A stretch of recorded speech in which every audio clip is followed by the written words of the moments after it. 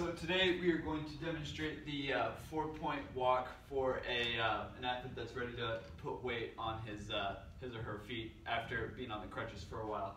So we're going to start by making sure the crutches are fitted properly. These ones are already set. It's got the bend in the elbow. They're set to the right height. All the handles are good.